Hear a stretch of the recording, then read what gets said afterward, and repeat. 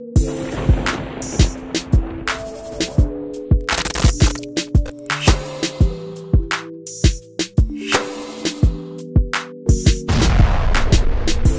right. So chapter 1061 is in the books. Things a little bit. It wasn't an action chapter, you know. There was some action, but you know, it wasn't really like the one that really gets your blood flowing. This one was more like a surprise. Let's get it. BeatStars.com. So now the talk of the town is Dr. Vegapunk. They say the O2 on her clothing, so it's not real Dr. Vegapunk. Jewelry Bonney's not interacting with Luffy. She says she has some business. We see a shark with emotion. There's a lot. There's a lot going on, but at the same time, it's like if it's right in line with what we actually want with the story. So in this chapter, not only did we start off with a beautiful cover story, we got to see the Germa Double Six sibling escaping with Caesar from Cake Island. And Miss Katakuri and Oven, they're out of there. An interesting part about this is now we know Caesar is with Judge. Judge and Caesar, they're not too different, you know? They're trying to manipulate and compensate for one Dr. Vegapunk. But as this chapter, not just Vegapunk. We're calling her Vega Mommy, because damn.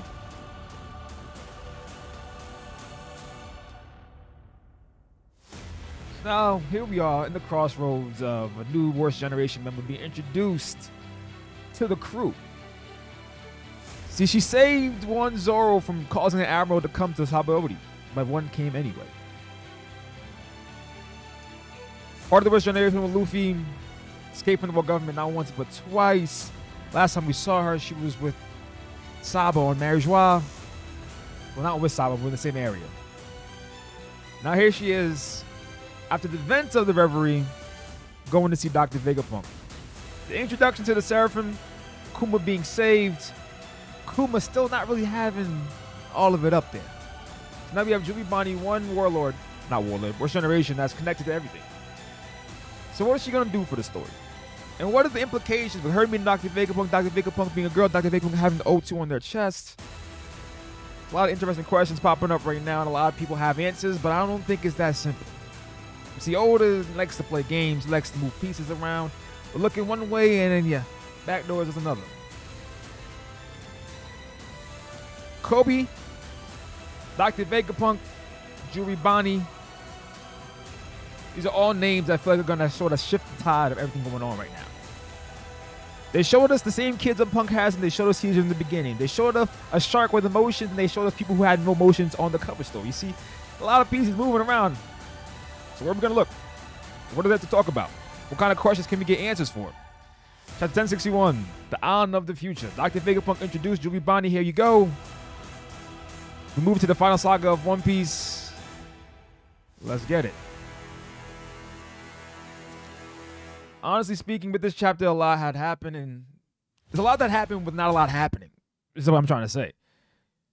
It's like yes, we got the straw hats all being separated. I'm I'm I'm more curious as to why it's separated the way it is, right? So now I'm over here looking at the fact that we get where is it? Where is it? We get Jewelry Bonney, Luffy, Chopper, and Jinbei.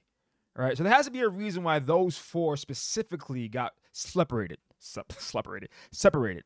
Then we got the introduction to Vice uh, Vice Admiral Doll, or yeah, Vice Admiral Doll. She's fire. I ain't gonna lie, man. That's the aesthetic. If you know, you know. If you don't, you'll get there. but Doll, but we also got introduced to Dr. Vegapunk, and we know Jewelry Bonney's actually headed there for Dr. Vegapunk. So the, the strides being separated is really interesting to me because the people who you would think need to see Dr. Vegapunk first aren't the ones that are actually going to interact with Dr. Vegapunk. So we have, and I actually want to go back to last chapter because I keep forgetting, but I don't know if they know Caribou's in the barrel. Because if they don't, then that's sort of like I when I read it, I felt like they know he was in there and they were just keeping him in there. But now I'm starting to think that he may be in there and I've snuck in there. But I'll go back and read that chapter in a second. So having Caribou and actually showing Caribou's face alongside Usopp, Zoro, Nami, Franky, Robin, Brook, and Sanji, it makes things really interesting because now we have two people who may have ties to Dr. Vegapunk. We have Franky reading their notes, and Sanji, who's a mecha human. All right. And Robin being there as well is going to imply more um, of a um, history lesson to us. More or less, maybe Robin knowing, wanting to know the true history of the world is going to talk more about Devil Fruits because Dr. Vegapunk has the most extensive knowledge when it comes to that. And it may even help Nami out with her Clima-Tact and may help Usopp out with um, his gear. And then it leaves Zoro. And when you look at it, you have Franky, Nami, Usopp, and Caribou. They're all lighted panels.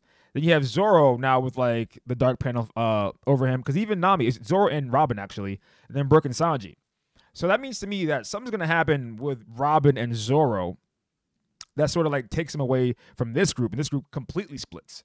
So then that leaves Usopp, Franky, and Nami and Sanji, which are the four people who would get something from Dr. Vegapunk. Like Sanji being a mecha human, uh, Franky reading the notes, Nami the Clima-Tact, and Usopp with his stuff. And it's just interesting that those two panels are darked out. I just wanted to mention that. So, and then you also have Dr. Vegapunk darked out as well, but then you guys can see her face lit, lit up. But it's also sort of interesting, sort of like guiding the people who are going to be together. We have Zoro, Robin, and then Dr. Vegapunk all like shaded out. So that's that. But also have the robot, but so you can make implications that the robot's going to be like a, a base for them. But something someone else pointed out to me was that this uh, Vega Force 4 or Vega Force 1 12 looks exactly like Franky, right? Looks exactly like Franky in the wrong timeline when he's 40. And then we go all the way back to the beginning, right? We see the Sunny's face depicted, and then we see a shark. Uh, where is it? Where is it? The shark mecha. Uh, the shark mecha having like a personality of his own, not being able to to subside, uh, subdue the primal uh, primal urges. I think it was called. They said. And then when you look at this, I, I think this uh, Navy Force One, I don't think that's Vegapunk's eyes either. I think that's like the robots itself and like Vegapunk sort of like just controlling it. So that leaves like room for Sunny being like a sentient thing. And then when you look at Franky after the Mohawk one, when Franky's like after that, so you have the uh, basically Franky looking like this when he's 40, and then after that, it's Franky becoming a ship. And just like how they're showing Sunny twice, and Franky's uh, bounty poster was the actual Sunny. So I don't know if that's like raising like like clues about what's gonna happen. And then we also get Jewelry Bonney, someone who could actually manipulate ages. We may get a situation where we get to see the Straw Hats in like their terrible their terrible timeline because we actually don't know Jewelry Bonney's power. Like only thing we know right now is that. Uh, she can make you turn into a baby, and she can sort of age people. I think she only, know, she can age people like either younger or older. So maybe she can also like alter the type of person you're gonna turn into. Maybe it's not just like strictly aging. Maybe she can like make you older to when you're like your bones are brittle instead of like you just being older. So like maybe there's like a way to like sort of direct the type of person you may be or the the type of timeline you're gonna follow. And the reason why I mentioned that too is because if you show we're seeing now two indications of Franky uh, on the SBS with Oda just drawing the the Straw Hats in different timelines, but then you also get the Seraphims coming back and being uh, shown as the kids of the warlords. So now these are two things from the SBS that involves like ages that Oda or ages or timelines that Oda has brought into the story in the last two chapters, the Seraphims and now Franky. So I, I find it interesting that we're introduced to Jewelry Bonney right now because we may actually see something involving that. And the fact that Jewelry Bonney has to go and talk to Dr. Vegapunk or has some business with Dr. Vegapunk, it leaves a lot of things up in the air. Like, what are they actually going to talk about? Is like, is it Jewelry Bonney talking about Kuma? Because the whole situation with Kuma, like, I think Jewelry Bonney was the one that tried to kill St. Charlos. And if that's the case, then she's really pissed off about having Makuma, and Dr. Vegapunk is basically the person that did it to him. And it could be a situation where they're gonna make a business deal, like you help me, I help you. Like if you help me with my seraphims and get making them older to be like the perfect weapon, uh, could you? Uh, I'll restore Kuma's memory. Like maybe like Vegapunk is good, but at the same time, Vegapunk really isn't. Maybe Vegapunk is just lying in order to use Jewelry Bonney's power. And it's not. It wouldn't be the first time that we've seen like a doctor like do things that like are heinous. Like we've seen Doctor Hogback, and we also have seen Caesar. So and then we've seen Judge, and we've seen Queen. Like Doctor Vegapunk helping destroy that one time really isn't gonna like make it seem that make it uh really doesn't make it seem that Vegapunk's like really like a good person. And then like you capital uh you sort of like hammer it home because you said, "Forgive me, but did you say saved you?" Oh, you naive pirate. So it's almost like Dr. Vegapunk still has like this this um perspective on pirates. Maybe it might be good or bad depending on because it could be her just being sarcastic. But she said, "I work for the government despite my mediocrity," and the mediocrity comes more from the the fact that every time we talked about Dr. Vegapunk, it's like some of his things succeeding and most of them failing. Right? Like we had the uh, the Sea Stone ships, they succeed. We have the Pacifista, they were a success basically, but we have the Fruit and Momonosuke being a failure. Now you have the Shark ship also being a failure. So now we have all this like we starting to sort of build a picture of what Dr. Vegapunk is, but like at the same time, Oda gave it to us in the cute face. So now it's like, okay, like how are we actually gonna judge uh judge Dr. Vegapunk? Because Dr. Vegapunk could be like another pudding, like cute face, but like you know much different on the on the inside, right? She puts a smile on your face, but at the same time, she's like trying to like advance her studies more than anything. And I think Robin having the knowledge that she has, it really she may have a poneglyph in there and like and she needs Robin to read it. Like who knows, man. So there's a lot of things to talk about and a lot of things we can't talk about. All right. But we mentioned the straw hat splitting up. So we have like I mentioned, you have the four people that are, are or five people who are all like whited, the whited panels. You have Caribou, Usopp, Nyam, uh, Caribou, Usopp, Nami, Franky, and Sanji. Then you have the three who are darked out. Oh, but you have Brook too. Sorry, sorry, Brook. Sorry, Brook. Then you have the uh, the three people who are darked out in the panels. You have Zoro, Robin, and then Doctor Vegapunk. So maybe a situation where they all split up because essentially the people, like I said, who would gain something from Doctor Vegapunk maybe Caribou getting like some technology, being able to escape. Yes, Usopp with his uh with his gear, Nami with her climb attack, Franky read Doctor Vegapunk's notes, Sanji being a mecha human, and Brook, I don't, Brook getting like Brook Brook Brook actually being a soul. And that may play may play may play in the story later on. So I'll just leave that in the air. But like maybe like Brook can like take over something because it looked like these these things have souls. So Brook may be able to manipulate them in some way, shape, or form. Don't quote me on that though. But then we have like Jinbei, uh, Jinbei, Luffy, Jinbei, Luffy, Jewelry Bonney, and Chopper. So like, why is this split like this? Is the bigger question because I think they said they're on um they're on Egghead Island, Egghead Island, right? But then we also got to see Sword, and I think because we saw Sword up here and then Luffy and them down here, we may get a situation where um they interact and then Dr. Vegapunk and the bottom interact. So we see Prince Grus, we see Helmeppo, we see Hibari, and then we see Doll, wait, Doll, yeah, Doll as well, Tashigi, and the kids. So I feel as though the person that would interact with them and be like the most like, uh, how do you say it? Interact with them and actually be willing to help them would be Luffy and Koby. But this is where it's interesting because Zoro just talked about um Zoro just talked about um making these people they, they chose their path like make them decide their own journey or like experience their own journey. And if they really need help we'll go save them. So with Vivi they have no leads right? And even though Koby is a marine right would Luffy actually go and save him? And I'm starting to feel the vibe that he I think he would because he actually knows where Koby is. And the reason why I think that Luffy would save him is because of Luffy's dream. And I like that Oda introduced it before this arc started. So shout out Par, shout out Civ. But basically, they describe Luffy's dream as pirates and marines and like revolutionists all being able to be friends. And I didn't really, I wasn't able to watch the whole video, but I thought I saw it in the comments and someone said basically everyone being a pirate, basically everyone being free and to cho- be able to choose what they want to choose, right? So if that's the case, one step forward, uh, one step closer to that is one Luffy becoming Pirate King, but also building or mending a relationship with Marines. And it could be a situation where we get Garp also going to Hachinosu because if they know where they're headed, and we know Garp, I know Garp is training Koby, but I don't think they're just gonna leave Koby by himself because Helmeppo's already asking, uh, asking them to go and um with Seraphim's like which is like one of the highest military power right now to go and save them. And, and he said, and Grus said, Are you crazy? Both of you calm down. At the moment, we can't get a hold of Drake either. We're in no position to act right now. Is that clear? So basically, they they're losing. They lost two sword members, and they're already dispatched. They're already like uh separated from the Marines, so they really can't act like the Marines themselves for help. So like right now, it was almost describing it as like a sword like thing to to a sword thing that needs to be done or dealt with. So with Koby being gone, it doesn't just put a strain on the Marines, but also sword themselves because Koby's a person with information. But then you have also Tashigi talking. I can't remember Tashigi's in sword. Can't remember. I don't think she is. But Tashigi's basically saying, "I'm worried about Koby too. She's a junior after uh, junior. Uh, he's a junior Marine after all. He's out junior as a Marine. So essentially, I can't understand if they're making this a sword issue or it's like a really big marine issue because Shigi's already a king person, so her wanting to save Koby makes sense. Helmeppo and them being a part of Sword, them wanting to go save, save Koby, it makes sense. But like Doll seemed really like it didn't really matter. Like I'm, it's that past Helmeppo. Can you do something about him? Like she seemed that she really didn't care, and that's sort of like the personality I'm getting from her. So like I don't really mind too much, but at the same time, like it's more or less it, it's more or less like making it feel like it's not just like a big issue to a lot of people, only to a certain amount of people. And that's why I think Garp may get involved because Garp, you know, is like really the, the one looking over Koby, watching over Koby. And if Luffy goes there as well, I mean, then now we have interaction with Garp and Luffy versus Blackbeard, and we may get a situation where Aka- Akainu may be involved in some way, shape, or form. I don't know about that one, but at the same time, this, I think this is where Garp dies. Like I think Garp is gonna probably gonna die in Hachinosu, and I sort of think Luffy's gonna be there with him.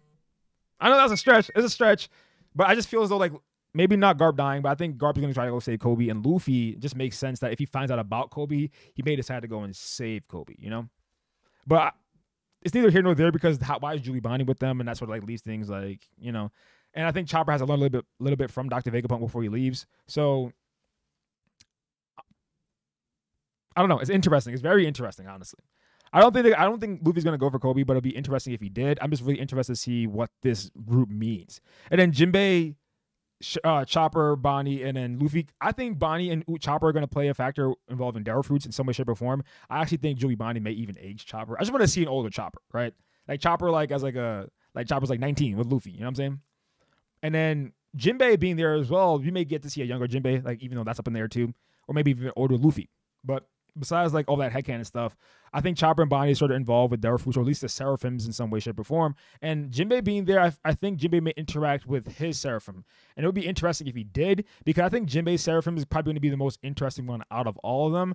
I don't like. I remember mentioning it in my last video, but I don't think that they're gonna make a, a Lunarian fisherman because it'd be like sort of counterintuitive. They might, and there's no there's no like saying there's a cap on how many different kinds you can make. You can make a, probably a, a fishman slash seraphim, but then I also think you're gonna get like a fishman slash oni, and how like because essentially a fishman and lunarian they sort of like counterintuitive because fishmen are stronger in water and lunarians basically stronger when their flames are on. So one without the other is sort of like eh. But you can make the perfect hybrid if you give Jinbei like lunarian DNA because essentially then they could be decent and yeah actually it could work out but i was saying maybe you get a fishman slash an oni and with this one at the very bottom of the like i said at the very bottom of the chapter she's saying that it was a failure because um where, where is it where is it? Perhaps uh, uh overriding the primal desire is something impossible it's something impossible. So if maybe the seraphims are the same way maybe you can't really control the emotions what they really do but you can give them orders and they listen but at the same time not all the time they may like act on their own. And then you get a fishman who's innate whose innate like DNA is like like opposing humans. Obviously, Jinbei loves them, but like at the same time, like it may be different, right? Their primal rage, like they're, they're how they really feel about people is like what they're trying to suppress and override. So fishmen themselves are like almost programmed to like dislike humans, right? And then you get Onis who are the same way. So now you're basically creating this hybrid like race that literally despises humans like more than like celestial dragons despise people, look down on people. So now I think that what Jinbei may play a factor with, or Jinbei may be like Luffy's ride. Like Jinbei literally may be like Luffy may oh Jinbei, bring me to Blackbeard. We're going for the smoke. You know what I'm saying? Like, like, I don't know. There's a lot that could actually happen. And, and Luffy's like, Chopper, Bonney, you guys go like Chopper, you stay with Bonney and you go find the rest of the crew. Me and Jinbei are gonna go handle this. Because Luffy's a Yonko. Like now Luffy can like like Luffy's a Yonko and Jinbei's probably like the one smart person. Now Luffy can like literally move throughout the sea without like having too much problems. And like if Luffy remembers who Dr. Vegapunk was, the person who saved the ship, I think Luffy might be more trusting of Dr. Vegapunk than he should have been and allows Chopper and Bonney to go off. But you know, it's like a lot. It's like I'm really interested to see why this split up happened. And I think if Luffy was with Zoro and Sanji, them, then then Zoro and Sanji would also go with Luffy. And I think that might be overkill. And that's why Oda's like Luffy goes off on his little journey by himself with with Jinbei and Chopper reunites with the rest of the Straw Hats with Bonney. But then we get the other split with Usopp. The other split with uh, where is it? Oh, shit. Where is it? Where is it? Where is it? We get the other split with uh, dang, where is it? Where is it? Where is it? We get maybe maybe get Caribou like maybe it's split like this. We get Caribou Usopp by themselves, Zoro by him, Zoro and Robin together, Nami, Franky, Sanji, and Jinbei by themselves. Like who knows? But I think it's gonna be this five, like these six, like uh, Caribou, Usopp, Nami, Franky, Sanji, and then Jinbei. They're by themselves. Zoro's uh, Zoro, Robin, and Doctor Vegapunk. They're by themselves. I don't know, and things like happen. You know, it gets it gets it gets crazy. But then Luffy and Jinbei go off on their own adventure, and Chopper and Bonney reunite with everyone else. I don't know. I don't know. I just feel well, that's how it was sort of flowing. I, I really I was paying attention more to how they were split rather than the rest of the story. Tashigi was nice to see. The kids were nice to see. Doll, Hubba Hubba. Uh, Sword, I think this is pretty interesting how they're talking about the Seraphims and Sword, and then more or less we to see more off Sword. And then I think the, if you go to some of the cover pages, like when uh like uh Beige's cover pages, you get to see like the Prince Grus and them they were part of the Marines, but they didn't know they were part of SWORD at the time until now. And then, yeah, that's pretty much it. I think a lot of this is going to play with Franky and the fact that Franky, Bonney, and then the timelines being shifted or something like that, or like the fact that Franky is now with Dr. Vegapunk, and then we seeing like literally those ships with sentient beings, and we have ships with like sentient personalities, and then we actually have the Sunny being shown right here, and then the Sunny we got Sunny reacting to Luffy's dream, and then the, the, t- the time before that we got um we got Sunny being Franky's bounty poster. So like now it's like it's just showing that something's gonna happen with Sunny. Then you also see Film Red. I haven't seen it yet, but then we get to see like Sunny in like a kid form, I think. So that can also play. I don't really know what happened yet, so I don't know what to talk about, but that could also be a, uh, another clue. So a lot. There's a lot. Like I said, I'm more interested to see how they split rather than anything else and what happened because they were split like this. And I think this is sort of indicating how it's going to go down. So, but tell me what you guys think. Tell me what you guys think. Like I said, at the, like I said at the end of every single video, leave a like, hit the subscribe button, and the bell button to come back next time and remain enlightened. Y'all leave a comment down below and tell me what you guys think is going to happen with the crew being split. And until next time, get right, don't get left, and remain polished, y'all. Peace. Thank you guys for watching to the end of the video. But while I was talking to stream, a couple other topics came up and I discussed them and it sort of racked my brain around them a little bit. So chapter 1061 actually had all these questions. So I decided to give some answers. Check it out. What's happening? Dr. Vegapunk has been perfecting everything. All right, all right. Hear me out. Hear me out. Hear me out. Hear me out. Hear me, hear me out. Hear me out. Hear me out. Hear me out. Sanji was deemed the failure of his family, but later on basically becomes like the strongest, even without the raid suit, being able to even take on some of the properties of the raid suit without the raid suit. And Sanji was deemed the failure, and then Dr. Vegapunk always deems things. Every time we heard about Dr. Vegapunk talking, it's always this is a failure, right? And it could be a situation where Dr. Vegapunk's supposed to be surpassing Queen, Judge, Caesar. Like Dr. Vegapunk's supposed to be the pinnacle, right? Yes, it's to help Franky, but if Dr. Vegapunk also knowing the lineage factor may do something with Sanji, maybe Sanji like wants to suppress like everything from his family. I doubt it. At this, at this point, I think he accepted the power and realized he's not changing. But what if the failure, failure, right, that everyone's talking about finally becomes like the perfect product because of Dr. Vegapunk, right? Like now we have Dr. Vegapunk who's crossed DNAs with Lunarians, Fishmen, Onis, probably literally knows lineage factor of, of humans, obviously knows how to control Devil Fruits. Sanji, his brother, basically gaining powers like they are Devil Fruit users without actually having eaten one. Dr. Vegapunk being able to uh, possibly cure the smiles. Dr. Vegapunk is actually curing uh, Caesar's uh, misdoings. So at this point, like we have Dr. Vegapunk being able to possibly solve everything and take everything a step further. So why not turn the one thing that's a failure because Judge was working on it and give it to and give it to Dr. Vegapunk. Now imagine, imagine, right? Look at this. Look at this panel side by side. It says perhaps overriding primal desires is simply impossible. Right. This is that their innate desires. Right. And to make Sanji better would be to obviously many people would not probably not like it. Maybe people, a lot of people would, but controlling that very urge. Like, you know how Sanji every time he sees a woman, that's Sanji, right? Imagine being able to suppress that down to like a minimum, right? Obviously, that might ruin Sanji's character, but at the same time, if he was able to, if that, it was possible, then wouldn't that make Sanji sort of stronger? That would like sort of like eliminate his weakness. Maybe not him hitting a woman, right? But him not having to like lust over her, right? The primal desires are simply impossible. Perhaps. And they see Sanji right next to it. Sanji's obviously gonna hard eyes Dr. Vegapunk. So you know, I was like, it's gonna happen. So that's a thought. So maybe Sanji conquers Haki. Uh, maybe. Maybe it is one of Dr. Vegapunk's Maybe the reason why Dr. Vegapunk's so good is because Dr. Vegapunk can split into multiple personalities. You know, like so. Um, I forgot. So if you ever ever watch like isekais or like power fantasy or power fantasy, um, anything, right? And how basically the smartest beings are usually ones that have like called something called like parallel thinking or like a supercomputer within their head. So like imagine now now like maybe Dr. Vegapunk literally ate maybe Dr. Vegapunk really did eat a devil fruit, right? And the reason why Dr. Vegapunk is the reason why Dr. Vegapunk can um can uh what you call it? The reason why Dr. Vegapunk is so smart is because he has five personalities that are all like maybe Dr. Vegapunk ate a devil fruit has five personalities, right? So like Dr. Vegapunk split into five, and then it's like probably the five categories. So like one's like uh since less than 2005. I appreciate that, man. Appreciate you, bro. So Dr. Vegapunk now has like a mind that's like strictly focused on like cybernetics, one that's like focused on poison, one that's uh, focused on lineage factor, one that's focused on the devil fruit, one that's focused on like um the seraphims like we have different multiple dr vegapunks like they're like basically clones of each other but they all like they, they're like parallel they can think parallelly like parallel thinking there's like multiple like minds all thinking but they're still all together as dr vegapunk is one Maybe I think the O2 sort of like leans us in a way that is this is not going to be like the just the one Doctor Vegapunk. There's going to be more. So, so I mean, it's really up in the air, honestly. Right. So, eh, or it could be such uh, another situation where like even though it's a woman, they're they're a man. You know what I'm saying? Like with uh, Yamato, and maybe like this, like it could be like Yamato Oden, right? So like Dr. Vegapunk of old was this great man who studied the lineage factor, and then this is like, oh, I'm studying from I'll act I the dreams never die unless they're forgotten, right? So then I take up the will and the knowledge of what Dr. Vegapunk was back in the day. So it's it's a lot in the air, you know what I'm saying? Like and like she's like playing homage, always like talking about Dr. Vegapunk. So it could be a situation where it's a daughter, it's a family member, it's split personalities, it's another Oden Yamato situation. Like there's so much that can actually be the answer for this. So we can't really tell until we get the next chapter. I like the idea that it's like parallel thinking, like multiple minds, and they can combine and become one. But the most of the time they're split and separated, studying different things, so like expand knowledge and stuff like that. But who knows, man? Let's make a broken. Let's make a broken seraphim. All right.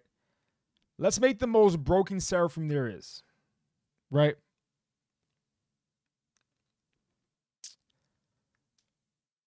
The most the power they were seeking for the longest time, the Gorosei, was the Nika fruit, not because of because of the potential it had when it was awoken, right? So you can already look at Luffy. He already made discussions that Luffy is part Lunarian. You can argue it, Lunarian, Shandian, somewhere in that mix, right? But let's say that let's say that they get Luffy's DNA, right? Gonna mix it with a Lunarian off the bat. So now you have a child Lunarian Luffy already, right? But you still have Kaido's DNA. You still have Jinbei's DNA. You have, I mean, you can skip over Boa. You have maybe giving Mihawk sword techniques, right? You have light beams too. Don't know how it's gonna go with Doflamingo string, so I'll just leave that up in the air. You have Kuma and Gecko Moria. Right? So say we can't only we can only copy Zoans. Let's stick strictly Zoans. So basically, you're you're now giving Lunarian Luffy with the ambitions of Luffy, basically, but still hostile to Luffy. He has he can he can basically not only be Luffy, but also he's gonna have the rubber powers because if, if Vegapunk's able to copy the Devil Fruit because it is a Zoan. Right? You give him Mihawk's sword ability, but then Kaido's durability. Right? And only durability. Plus Plus, you amp him with like being a fishman too. So now you get Luffy, a fishman, Oni, fishman, fishman, Oni. Like you basically get a chimera. Like literally, like I'm I'm surprised we don't. Listen, listen, listen, listen, listen. Don't be surprised that we get Luffy. Uh, this is Shihegane. But imagine we get a Luffy, right? And it is a basically a chimera Luffy because essentially you give him the power of all these Zoans, right? You give him like probably being an Oni fisherman, but you also give him the uh, Kaido's Devil Fruit because Luffy's Devil Fruit basically being a rubber man can probably contain the power that is all the Devil Fruits. That's that's why Vegapunk would want it, right? And like we were, like, the first time we ta- we learned about multiple Devil Fruits is like if you eat two, then you basically explode. We got Blackbeard being a, a black hole, but like if Luffy's rubber body can keep expanding if need be, and if Luffy and Gear Fifth can do that essentially, so bear with me. So now you have this basically a Lunarian, uh, Lunarian rubber boy who has the sword techniques and the durability of an Oni and a fishman, right? And you tack on Kaido's uh, Devil Fruit as well because because if maybe an Oni, but but Luffy can possibly have multiple Devil Fruit powers. What I'm getting at, but you already have Luffy essentially being able to use his gears and transform into different animals. And this is why I'm saying like a chimera because Luffy can already transform into different animals, as we saw with Snake Man. Tiger Man's probably going to come, but yeah, Battle Man too is like imitating uh, King Kong or a gorilla. So you have a dragon pl- tacked on, but also you can be a fisherman, and that sort of negates the fact that well, no, it doesn't. No, it doesn't. No, it doesn't. So if a fisherman, it doesn't. A fish, fisherman needs to doubt for himself affected by water, but if Dr. Vegapunk's able to take away like the neg- the negative effects of a Devil user because it's not really creating a it's- not really having eaten a Devil Fruit, just having the power of a Devil Fruit, right? Then you basically have like a chimera. You know what I'm saying? And the reason Oh no, no, no, no. You see, you see, for a second there, I started going crazy. I was gonna say, remember when Shyarly, remember when Shyarly saw Fishman Island being destroyed, right? And she saw Luffy. You know what I mean? She, hear me out. She saw Luffy, right? But imagine it's not really Luffy, but it's a Seraphim Luffy, right? Hear me out. And if what I was saying just now is true, like Dr. Vegapunk can give Luffy like all these like different powers essentially because he has a rubber body and can contain it all, right? If Dr. Vegapunk has finally like gotten to the level where Fruit users aren't affected by water, then you have a Chimera Luffy. And the person who actually destroyed Fishman Island wasn't really Luffy, but it was the Seraphim Luffy. Because essentially the Seraphims can be the Seraphims are basically uh the Seraphims are basically controlled by the world government. But hear me out, hear me out. The loophole is like why would why would they send them there to destroy Fishman Island? Maybe the maybe they they just want to. One, they could like, I don't want this island here anymore, destroy it. One, or two, like I said, uh when Enel when Enel um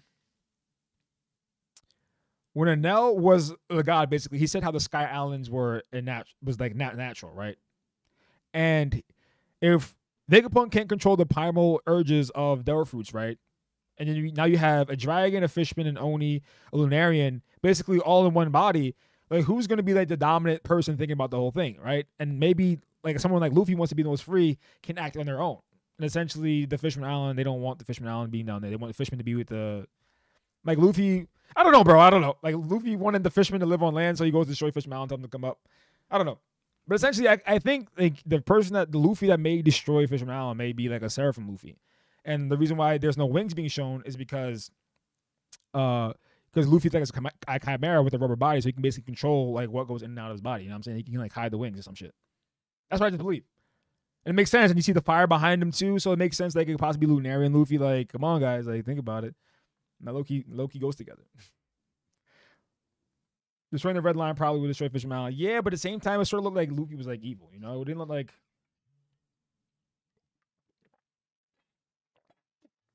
Yeah, destroying the red line would do it, but at the same time, eh, that's that's you know what I'm saying. But I'm just saying, think about it. Think think about think about right think about the um think about what just happened, right? We got Sabo being No, no, no, no, no, no. No, no. I don't think I'm not gonna go this I'm not gonna go this crazy. I'm not gonna go this crazy. I'm not gonna go, go this crazy. I'm gonna say how will they have Sabo's DNA, but they don't. They don't. Forget it. Forget I was gonna say anything. But they just had Sabo being framed for killing King Cobra, right? So give me like hear me out a little bit. If they were so easily able to frame Sabo for destroying, um, for destroying, or for killing a king, couldn't they take Sarah from Luffy, right? And make him go like the make him go and like handle the fisherman, make make him go to uh make him go to Fishman Island and then be like there's- say he destroys Fishman Island, and they're all just gonna see it as Luffy destroying Fishman Island, right? Say he goes to Wano, they're just gonna see it as Luffy like possibly destroying Wano and getting Pluton. Like say they send Luffy to uh Alabasta, it's gonna be oh Luffy did this. It's not gonna be like it's not gonna show.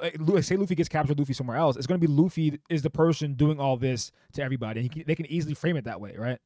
We just seen Sabo get framed possibly for killing Cobra, so it could be a situation where we get um Luffy doing other things like just like just like Sabo, and then the real ones come out later on, and they you know I don't know. There's a lot to think about, but at the same time, is Sabo alive? I think Sabo's alive, but at the same time, like making a start from Luffy, especially one that maybe not have the like not the same skin tone as as um King because he's rubber, he's able to change, maybe be able to change a little bit. And then you have him going to basically destroy Fishman Island, or him going to Fishman Island to get something. You know, I don't know. Maybe maybe you send him to Fishman Island to retrieve the poneglyph. You know what I'm saying?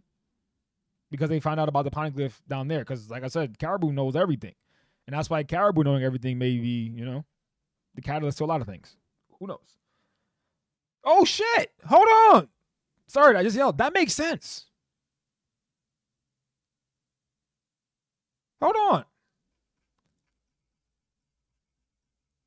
That makes sense. Hold on, hold on, hold on. You have Caribou knowing, not even the Poneglyph, Poseidon.